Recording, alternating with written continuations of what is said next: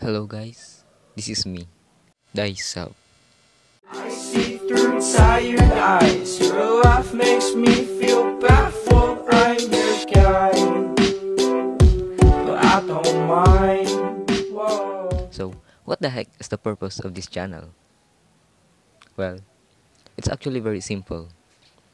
To share the lessons I learned in my life's journey, while also inspiring the viewer in the process. Ha, sounds cringy, right? Yeah, So I hope that you will be with me in my journey. And again, good day to you. I hope we enjoy our journey together.